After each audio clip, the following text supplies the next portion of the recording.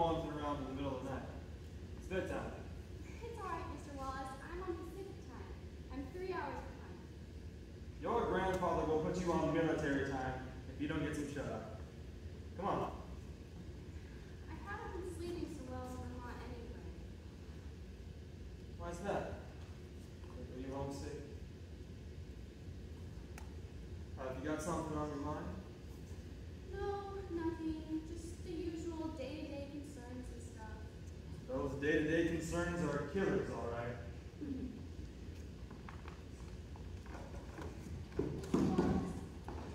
Is Grandpa really going back in the army? Um, I don't know. He might sometime.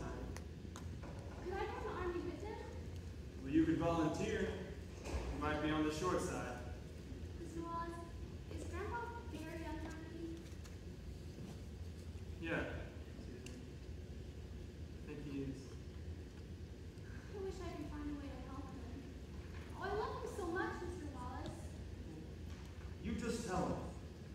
Maybe that's all the help he needs. I want to tell him. I almost did today. But I'm kind of scared of him. Don't feel bad. He used to scare 6,000 grown men at a time. You go in and